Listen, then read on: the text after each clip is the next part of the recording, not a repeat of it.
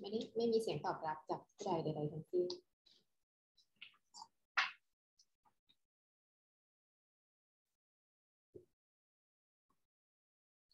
อะได้ยินเสียงไหมคะ ถ้าได้ยินเสียงได้นะยินก็เปิดไมค์มาสวัสดีกันด้วยคุณครูจะได้รู้ว่าหนึ่งนักเรียนได้ยินเสียงคุณครูหรือเปล่า นักเรียนเล่นเงียบใส่เลยนะคะสวัสดีค่ะ สวัสดีครับคุณครู เป็นห้องแรกที่คุณครูทักไปเราเงียบใส่ คุณครูก็ไม่รู้ว่า นักเรียนได้ยินหรือเปล่าเสียงเบาไปหรือเปล่านะคะะเข้ามาแล้วกี่คนแปดคน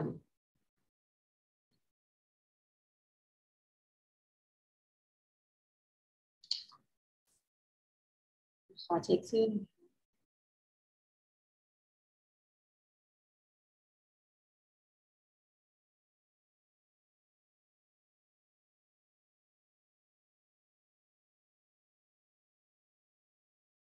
อยอ่าเจด้าค่ะ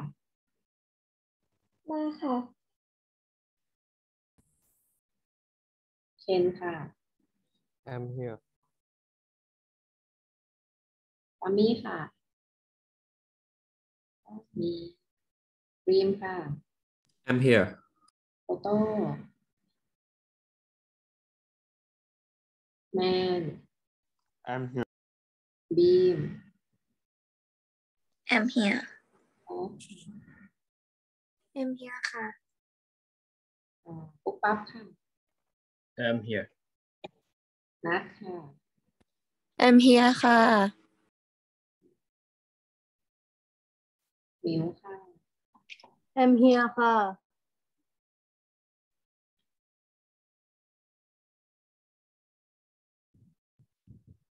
แบงค์ค่ะ โฟโต้เข้ามาหรือยังปามี่เข้ามาหรือยังฟังนะอะเดี๋ยววันนี้นะคะ เราไปทวนของเมื่อวานอีกครั้งหนึ่งนะคะ แล้วเมื่อวานคุณครูฝากให้นักเรียนคิดแบบฝึกหัดอยู่ประมาณ2ถึง3ข้อ ไม่ค่อยยากเท่าไหร่นะคะ เดี๋ยววันนี้ลองไป test test ตัวออนไลน์ก่อน แล้วค่อยกลับมา วันนี้คุณครูจะเริ่มลง เมื่อวานคุณครูค้างห้องเราก็คือไม่ได้อธิบาย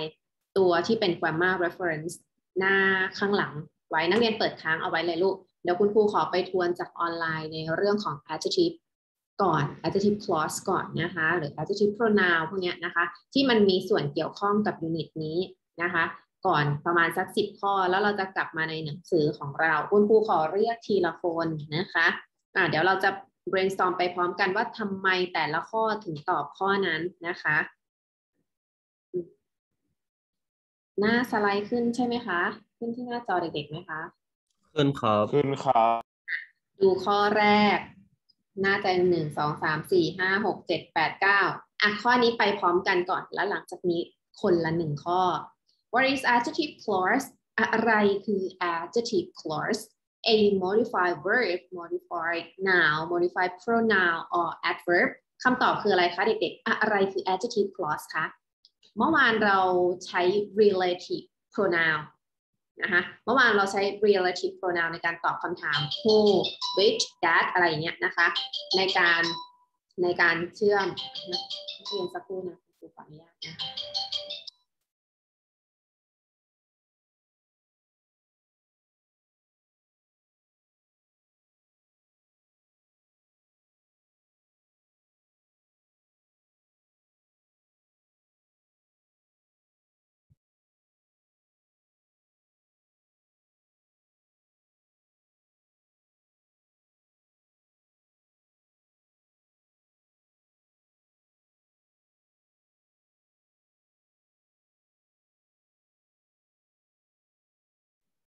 sorry ค่ะอะเมื่อวานเราเรียนเรื่อง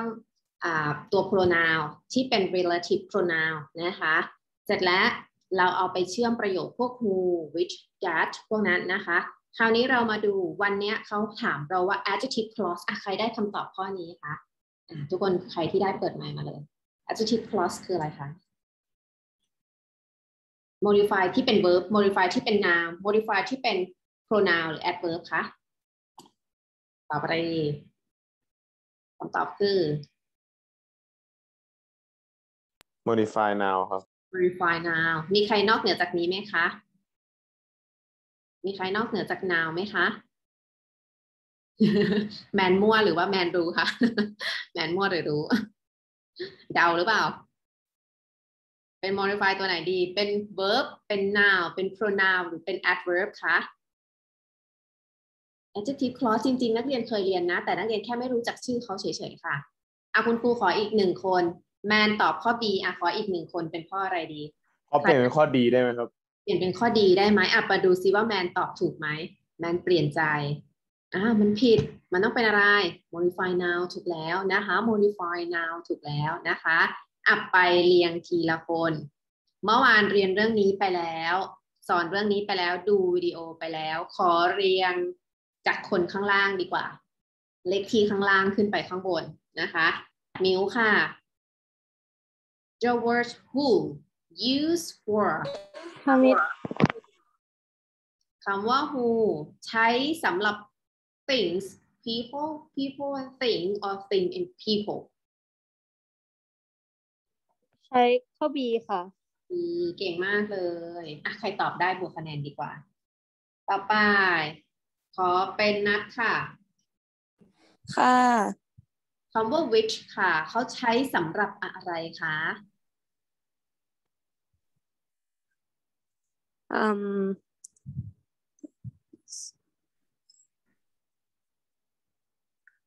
ข้อ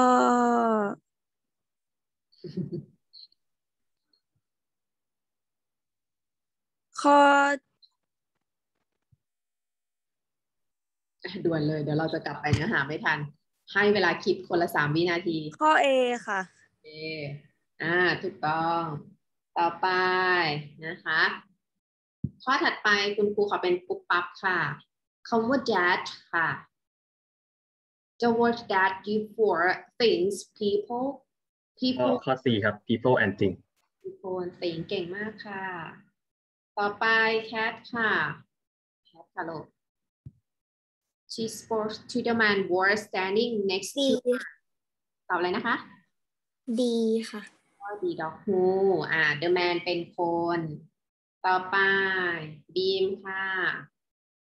he was ค่ะคำตอบคือ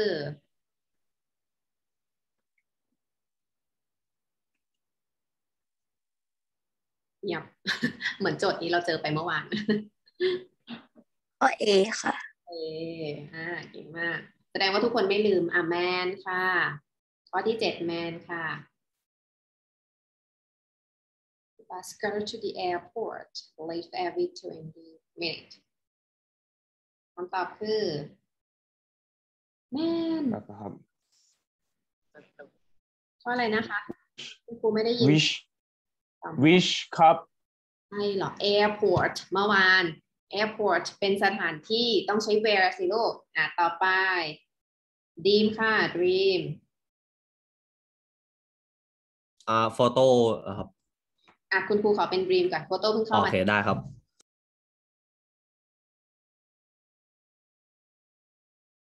คำตอบคือ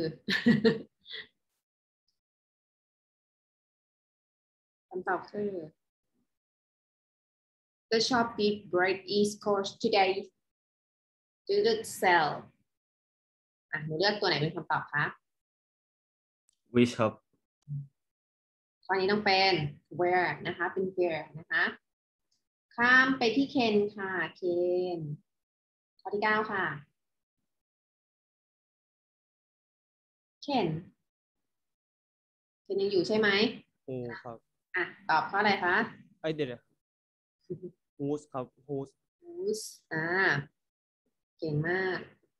อ่ารู้จักเปลี่ยนทันทีทันใด แสดงว่ามองออก ข้อสุดท้ายขอเป็นเจด้าค่ะ we use the commas in the sentence used to identify information used when already have information or correct or or wrong ข้อ C คือถูก ทั้ง A B ข้อ D ก็คือผิดอ่าเราจะใช้ commerce นะคะ ในประโยคแบบไหนอะคุณครูขอคำตอบจากเจด้าค่ะเอ่อข้อ C ค่ะข้อ C ผิดนะคะ ข้อนี้ต้องเป็นข้อ A นะคะอะคราวนี้ใครที่เข้ามาทีหลังหลังจากที่คุณครูเช็คชื่อไปนะเอ่ยชื่อมา ปามี่กับโฟโต้เข้ามาหรือยังคะโฟโต้ครับเออโฟโต้อะปามี่มาหรือเปล่าคะลูกไม่มานะอะคราวนี้กลับไปที่ในหนังสือของเรานะคะ แล้ววันนี้คุณครูจะปิดท้าย คุณครูยังไม่ขึ้นแบบฝึกหัดตัวใหม่ครูปุ้ยจะอยู่ที่แบบฝึกหัดข้อที่หนึ่งเมื่อวาน ให้นักเรียนเข้าใจก่อนว่าคอนเซปต์ของการเรียน unit ที่ 5 เป็นอย่างไรนะคะอะ มาดูตัวที่คุณครูติดค้างเราเอาไว้ เมื่อวานนะ ทุกคนเตรียมหนังสือตัว student book ขึ้นมาค่ะลูก เตรียมขึ้นมาเลย ถ้าใครไม่ทันคุณครูหนูแจ้งเลยนะว่า ให้ครูปุ้ยช้าลงหน่อย หนูจดไม่ทันหนูอ่าเขียนตรงนี้ไม่ทันนะคะ อยู่ที่หน้าที่หนึ่งร้อยสองค่ะ มันมีพื้นที่ให้นักเรียนเลคเชอร์ลงไปเลย ใช้ปากกาไฮไลท์เขียนลงไปเลยค่ะอ่าตรงหน้าหนังสือของเรา ในหนังสือของเราจะประกอบไปจุด full stop ที่เป็น dot นะคะอยู่ที่หนึ่งสองสามสี่ห้าห้าแต่ structure ที่เราใช้หลักๆในเรื่องของ preparatory is as a subject เนี่ยมีอยู่ 4 เดี๋ยววันนี้คุณครูจะฝากงานให้นักเรียนคิดคอนเซปต์ในการที่จะจำ4 structure นี้ เดี๋ยวชั่วโมงหน้าเรามาเจอกัน คอนเซปต์ของใครสร้างในการจำที่ เคโดนใจที่สุดจะบวกคะแนนให้ฟรีๆเลย 5 คะแนนนะคะ แต่ว่าต้องสร้างหลักการจำหนูอาจจะเป็นเขาเรียกคล้ายๆ จะบอกว่าเป็นคำขวัญเหรออะประมาณนั้น หรือจะเป็นเพลงเป็นอะไรอย่างเงี้ยก็ได้นะคะ ที่จะทำให้เราจำสี่ structure เนี้ยได้ เมื่อเช้าคุณครูฝากห้องทับสองแล้ว คุณครูไม่รู้ว่าเขาจะสร้างได้หรือเปล่าตอนแรกจะให้เขาสร้างในคลาสเลย มันอาจจะใช้เวลาเร็วไปนะคะ มาดูตัวแรก dot แรกเลย เขาอธิบายคร่าวๆค่ะนักเรียนเป็นการ intro นำเรื่องนี้ ว่าเรื่องที่ใช้ preparatory it as the subject เนี่ยคืออะไร นักเรียนจะไปเรียนเจอเรื่องนี้อีกทีตอนอยู่ม .6 นะคะในเล่ม M High ของม .6 เราจะใช้ it นะคะ มาอยู่ในภาคประโยคนี้ทำหน้าที่เปรียบเสมือนประธานอ่าจำนะคะ เราจะใช้ it เป็นภาคประธาน คราวที่แล้วเราเรียนในยูนิตที่ 4 จะเป็นเรื่องของ gerund gerund ก็คือการใช้ verb ที่เติม ing ใช่ไหมคะ เป็นกริยาไม่แท้ แต่พอยูนิตนี้จะมีเรื่องของ infinitive เข้ามาเกี่ยวข้องก็คือ to บวก verb 1 เวลาเขียนประโยค ถ้าเมื่อไหร่ไปเจอ infinitive ในตัวโจทย์ ขึ้นต้นประโยคด้วย to each olive fish is very healthy แบบนี้ เราจะไม่นิยมเอา to infinitive ขึ้นต้นประโยคนะคะ แต่สิ่งที่เราจะหยิบมาช่วยในประโยคนั้นคือเราจะหยิบ it มาเป็นภาคประธานแทนอะเดี๋ยวครูจะเปรียบเทียบความแตกต่างของสองประโยคนี้ให้นักเรียนดู วิธีการจำประเภทที่หนึ่งอะคุณครูใช้ตรงนี้เป็นประเภทที่หนึ่งทุกคนเขียนหนึ่งเอาไว้ที่หน้าดอทตัวนี้นะคะ ประเภทที่หนึ่งทุกคนจะต้องได้ it be adjective infinitive ค่ะ it be adjective infinitive ทุกคนต้องเรียงประโยคได้แบบนี้ถึงจะถูกต้อง ถ้าหายตัวใดตัวหนึ่งไปคือผิดนะคะ และ it ในประเภทแรกจะทำหน้าที่เปรียบเสมือน subject ของประโยค เขาบอกว่า in strict we use preparatory it to begin the clause the structure it plus from verb be adjective and infinitive ตรงเนี้ยที่เขาอธิบายสองสามบรรทัดคุณครูเขียนสรุปให้หนูแล้วคือตรงนี้ค่ะ หนูพยายามเขียนแยกออกมาให้เราเห็นได้ชัด อย่าไปอ่านตัวหนังสือเยอะๆ ตรงเนี้ยมันจะทำให้เรางงนะคะ ดึงประโยคแยกออกมาเลย มาดูตัวอย่างประโยคประโยคแบบเนี้ยเราจะไม่ใช้นะคะ to each olive which is very healthy กินเขาเรียกอะไร น้ำมันตับปลาอะไรพวกเนี้ยนะคะมันจะทำให้เราสุขภาพดี จะไม่ใช้รูปประโยคแบบนี้ แต่เราจะมาใช้ประโยคลักษณะนี้อะคุณครูซูมให้นักเรียนเห็นชัด เราจะเปลี่ยนนะคะ วิธีการเปลี่ยนถ้าดั้งเดิม เราจะตัดที่ตัวนี้ลูก is very healthy นะคะ ดึงจากตรงนี้มา ลงมาตรงนี้ค่ะ ลูกเป็น is very healthy ใส่ it เข้าไปเป็นภาคประธาน ก็เป็น is is very healthy แล้วเอา to infinitive ตรงนี้ลงมาเป็น to eat all of it นี่คือประโยคที่เราเขียนใหม่ ที่เขาเรียกว่า it มาเป็นภาคประธานของประโยคนั่นเอง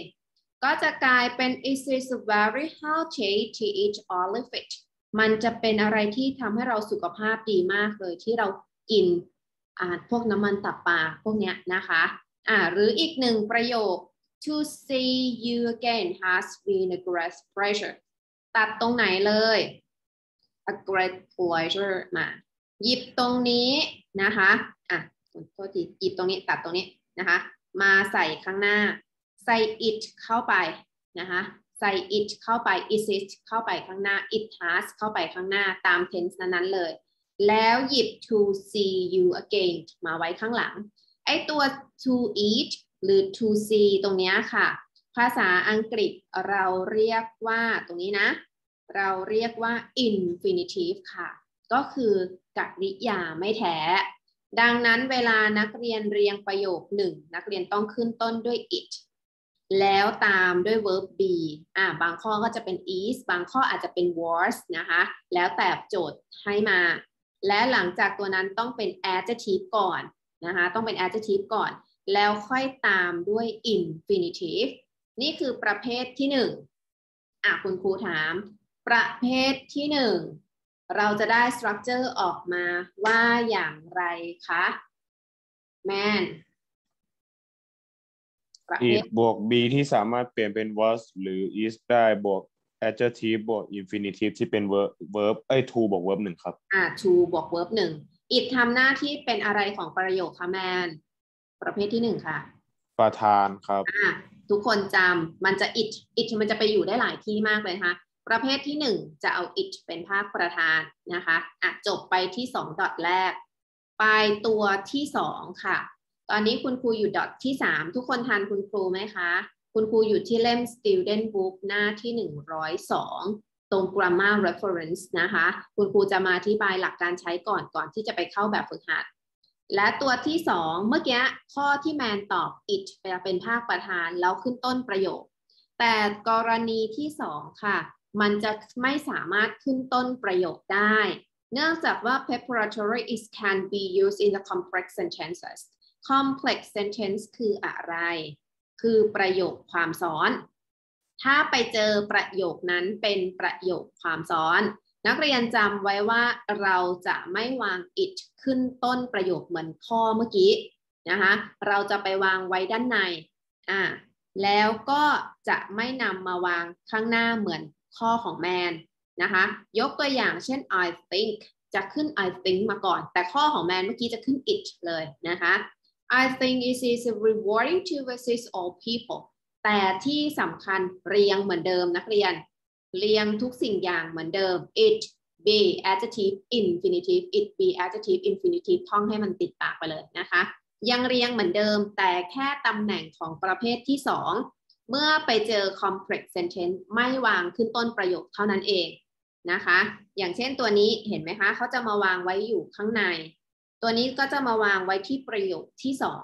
แต่ใช้หลักการเรียงเหมือนเดิม ตรงไหนที่บ่งบอกความเป็น complex sentence คือ who ค่ะ แล้วก็เครื่องหมายคอมมาค่ะ มันมากกว่าหนึ่งประโยคอะถ้าถ้าใครมองไม่ออกนะคะหนึ่งในโจทย์ข้อนั้นมันมากกว่าหนึ่งประโยค แล้วตัวที่เป็น complex ก็คือตัวที่เราเล่นออนไลน์กัน พวก who which that ทั้งหลายนะคะเนี่ยแหละเขาเรียกว่า complex sentence ประเภทที่สองเราใช้อย่างไรคะโฟโต้ประเภทที่สองค่ะ ครับผม เอ่อใช้ it เอ้ยใช้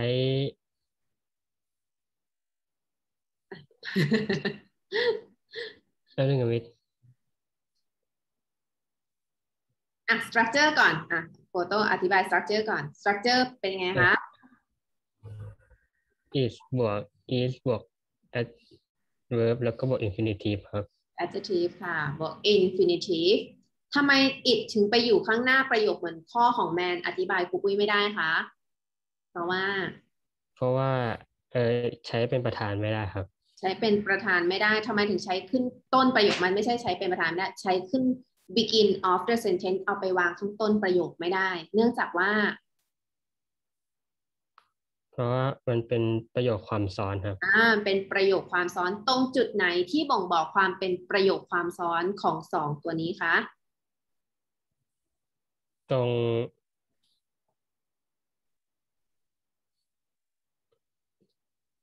ถ้าเราไม่แปลเราดูจากตรงไหนว่าเป็นประโยค complex sentences คะคือเป็นประโยคความซ้อนคะลูก เอ่อ who ป่ะครับ อ่าโหกับเครื่องหมายความมาขั้นประโยคใช่ไหมคะ อะทุกคนตัวนี้คือสเต็ปที่สองของแมนคือเอา it ขึ้นต้นประโยค it be adjective infinitive ขึ้นต้นประโยค ของโฟโต้นะคะ จะเป็นอยู่ข้างในไม่ขึ้นต้นประโยคนะคะ จะไม่เริ่มต้นไม่เอาตัว it เนี่ยไปเริ่มต้นประโยคแต่วางสเต็ปเหมือนเดิมนะนักเรียน เอาไม่เอาขึ้นต้นประโยคเนื่องจากไปเจอ complex sentence นี่คือประเภทที่สองนะคะ ต่อไปประเภทที่สามคุณครูจับตรงนี้สลับกันทุกคนอย่าลอกผิดนะ คุณครูหยิบข้อที่สามมาอยู่ตรงนี้ เดี๋ยวคุณครูมาอธิบายตรงจุดที่สามก่อน จุดที่สาม เมื่อกี้พวกเราท่องมาว่า it be บวก adjective บวก infinitive ใช่ไหมคะ ต่อไปกรณีที่สามจะผันเปลี่ยนไป เมื่อไรที่เจอ clause ค่ะ ที่เขาเรียกว่า that clause ค่ะนะคะ clause ก็คืออนุประโยคนะคะที่มาต่อข้างหลังที่มีคำว่า that คำว่า what คำว่า who คำว่า when เป็นตัวเชื่อมประโยคนะคะ เราเจอแบบนี้ปุ๊บ ให้นักเรียนใช้ clause ตัด infinitive ออกไป ห้ามใช้ซ้อนกันเด็ดขาดนะคะห้ามซ้อนกันเด็ดขาด เช่น it is adjective clause ค่ะ ตามด้วย clause เลย ใครไม่รู้จักหน้าตาของ clause คือที่พวกเราตอบคำถามครูในออนไลน์เมื่อกี้ that อะไรก็ว่าไป what อะไร who อะไร when อะไรตามด้วยลักษณะของประธานกริยากรรมก็คือประโยคนั่นเองนะคะ clause ก็คือประโยคนั่นเอง กรณีอย่างเช่นประโยคนี้บอกว่า it is unlikely that you have met Tom before ตัวนี้ค่ะที่คุณครูกำลังทำเครื่องหมายสี่เหลี่ยมตรงนี้ เขาเรียกตัวนี้ว่า that clause หรือ clause นะคะ เมื่อไหร่เจอ clause ทุกคนต้องตัด to บวก verb หนึ่งออกไป ไม่สามารถใช้ซ้อนกันได้ อันนี้คือ preparatory it ประเภทที่สามอ่า ขอคนถัดไป ขอสาวๆบ้าง ขอเป็นบีมค่ะ บีมสรุปสามให้คุณครูค่ะลูก บีม ค่ะอ่าบีมสรุปสามค่ะสรุปสามค่ะ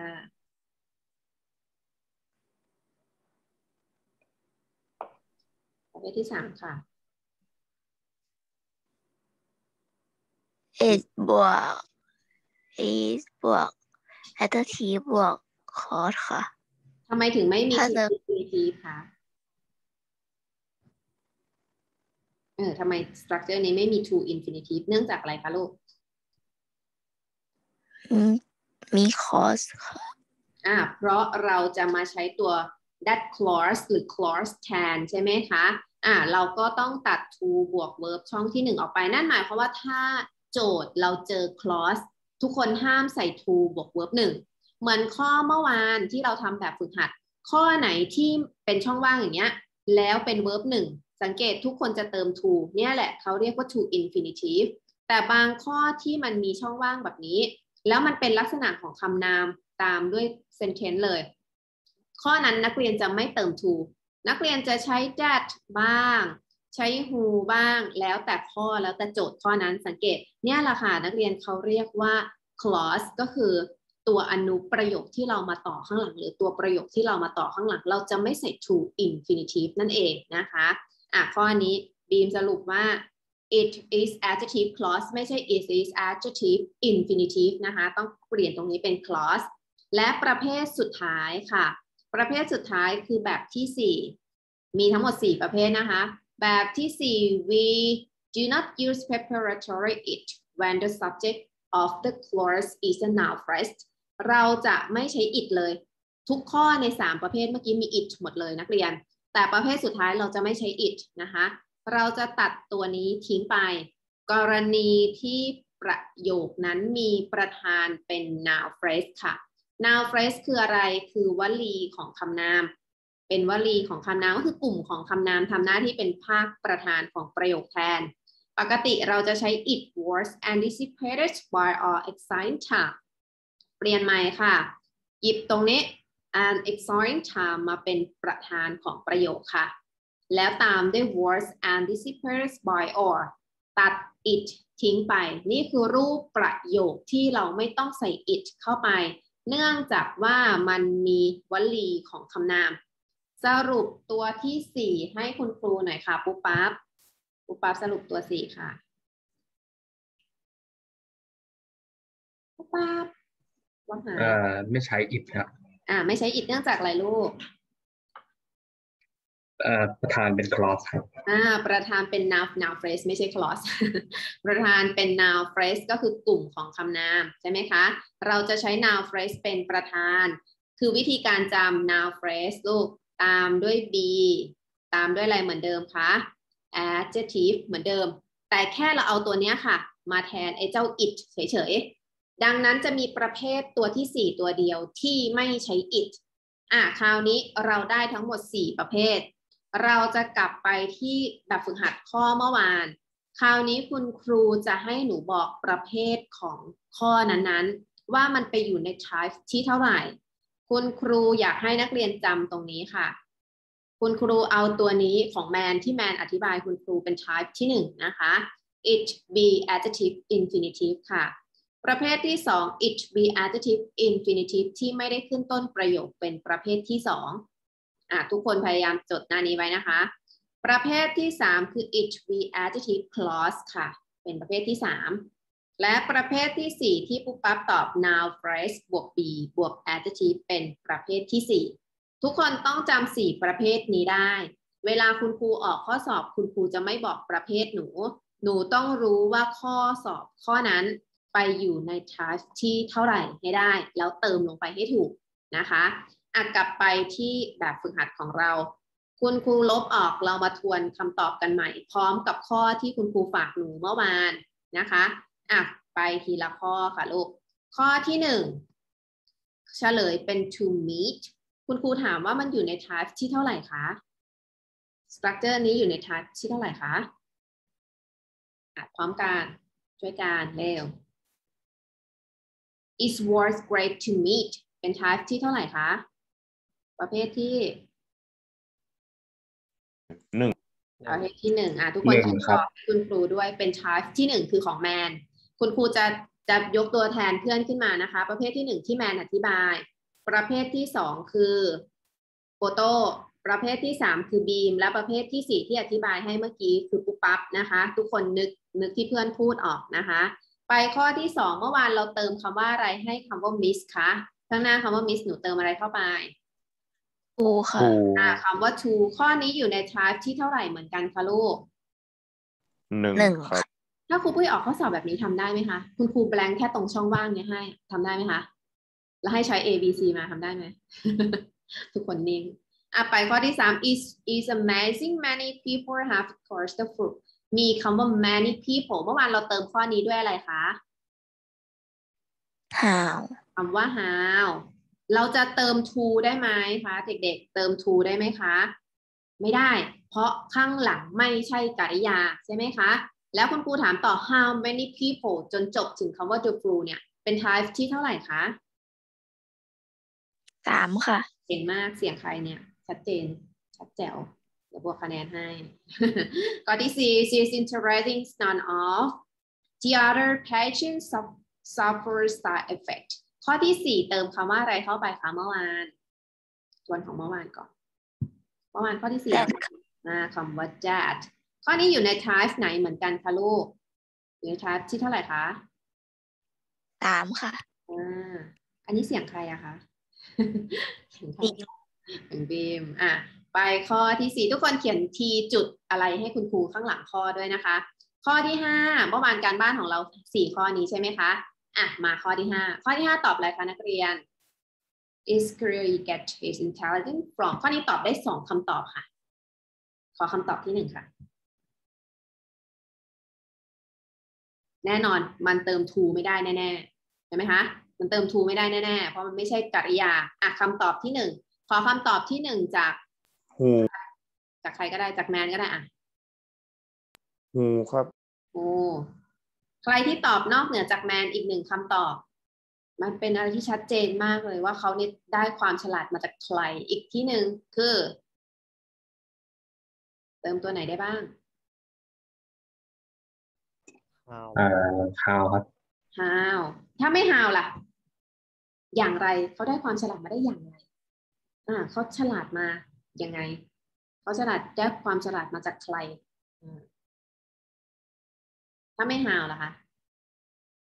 how he get ถ้าไม่ใช้ how ใช้คำว่าอะไรได้ where หรือเปล่าครับ where อ่านะคะ where นักเรียนดูที่ความหมายด้วยนะคะ ดูที่ความหมายตัวนี้อยู่ type ที่เท่าไหร่คะลูกอะเหลือเวลาอีกสี่นาที type ที่เท่าไหร่คะสามครับสามครับอะไปข้อที่สี่ข้างหลังคือ they didn't live ไม่ดูที่ความหมายนะ ข้อที่สี่เติมคำว่าอะข้อที่หกเติมคำว่าอะไรผิดข้อข้อที่หกค่ะ they didn't arrive on time ข้อนี้ไม่ specific ความไม่ specific ต้องเติมคำว่าอะไรเข้าไปคะ who คำว่าอะไรคะ ไม่ who สิ เราไม่ได้ reference ถึงคน ข้อนี้ต้องเป็นอะไรคะ that เหรอครับอ่าคำว่า that พอเจอแบบนี้ปุ๊บ อันนี้เป็น type ที่เท่าไหร่เหมือนกันคะสามสามไปทุกคนถ้าหนูถูก หนูติ๊กถูกอย่างเงี้ยเล็ก ๆ ให้คุณครูด้วยนะคะ ติ๊กไปเลย ติ๊กสวย ๆ ไปเลยนะคะ ไม่ต้องติ๊กใหญ่โตมโหฬารนะอ่าถ้าผิดแก้ด้วย ข้อที่เจ็ดค่ะ is is is is not no the disease originate ข้อที่เจ็ดค่ะคำตอบคือ อันนี้ตอบได้สองอันเหมือนกันข้อนี้เติม to ไม่ได้แน่ๆข้อที่เจ็ดตอบอะไร that ครับ ถ้าไม่ใช้ that อะถ้า specific ส่งไป ถ้าไม่ใช้ that เอาเฉพาะเจาะจงลงไป โลกนี้ต้นกำเนิดมาจาก where where ที่ไหนอีกคำตอบหนึ่งค่ะอ่าเหมือนโควิด -19 เนี่ยค่ะอ่ามันมีต้นกำเนิด มาเอาข่าวอ้าวอย่างไรเก่งจังเลย และข้อสุดท้ายข้อนี้ง่ายมาก ข้อนี้ก็เป็น type ที่เท่าไหร่คะ type ที่สามและข้อสุดท้ายค่ะ ข้อสุดท้ายมีคำว่า here เป็น verb ค่ะ หนูต้องเติมอะไรเข้าไปเลย to ดูอะถ้าข้อสอบคุณครูออกเนี้ยคุณครูคิดว่านักเรียนน่าน่าจะพอทำได้ดูจากด้านหน้าด้านหลังดูจาก structure นักเรียน อันนี้ก็ไปตกอยู่ที่ type ที่หนึ่งอันนี้ยังไม่ยากนะข้อนี้เป็นแบบฝึกหัดข้อที่หนึ่งถือว่าไม่ยากเลยนะคะ เพราะวิธีการดูให้นักเรียนไล่จาก it eat เคลียร์ส่วนใหญ่เขาจะขึ้น it เป็นภาคประธานให้เราหมดเลยค่ะ คือ type ส่วนใหญ่ไปตกที่ type ของของ man กับ type ของใครใครตอบ type ที่สามคะ ใครที่บาย type ที่สามให้คุณครูบีมใช่ไหมคะอ่าบีมก็จะไปตกอยู่ของสอง type ตรงนี้คือ clause กับ it เป็นภาคประธานเลยนะคะอะประมาณนี้ถ้านักเรียนในข้อสอบนักเรียนเจอ verb หนึ่ง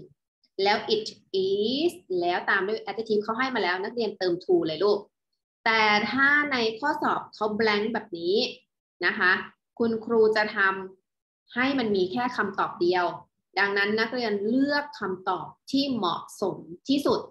ใส่เข้าไปในบริบทนะคะอะคราวนี้ไม่ให้การบ้านในแบบฝึกหัด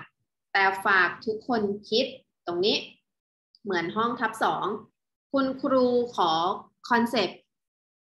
เป็นประโยคสั้นๆ แต่สามารถจำสี่ structure นี้ได้ เหมือนประมาณว่าท่องเข้าไปเนี่ย ฉันจะสามารถทำข้อสอบที่มันมีสี่ structure เนี้ยได้ทั้งหมดอะคุณครู จะออกข้อสอบคละทุกทุกแบบ ดังนั้นนักเรียนจะต้องจำตรงนี้ได้ ขอคอนเซปต์ในการจำเป็นเหมือนประมาณ wording อะที่เราจะใช้จำนะคะ ของทุกคนเลย ใครที่ทำให้เพื่อนจำได้ง่ายที่สุดนะคะ ไม่ซ้ำกันนะ ให้เพื่อนจำได้ง่ายที่สุด คุณครูจะให้คะแนนบวกหนูห้าคะแนนนะคะจะเป็นเพลงก็ได้นะ ใครร้องเพลงเก่งก็ร้องเพลงไป อ่า ใครแต่งคำขวัญให้มันคล้องจองกันได้ ไม่ต้องเอามาใช้ทุกคำแต่ดึงคอนเซปต์มันออกมาให้ได้นะคะตัวอย่างตรงนี้เดี๋ยวชั่วโมงถัดไปคุณครูจะมาเริ่มจากตรงนี้ ก่อนจะเริ่มเรียนเราจะขอคอนเซปต์ในการจำสี่ตัวเนี้ยจากทุกคน แล้วเราจะไปลงแบบฝึกหัดกันนะคะอะฝากอันเนี้ยไว้เป็นการบ้าน แต่ในแบบฝึกหัดไม่มีนะคะอะสำหรับชั่วโมงนี้ฝากทุกคนไปทบทวนสตรัคเจอร์นี้นะคะนักเรียนถ่ายรูปเอาไว้แล้วก็ ไปลอกลงในหนังสือได้นะคะอะสวัสดีค่ะ สวัสดีค่ะลูก สวัสดีค่ะ สวัสดีค่ะ สวัสดีค่ะ สวัสดีครับคุณครู ครับ สวัสดีครับ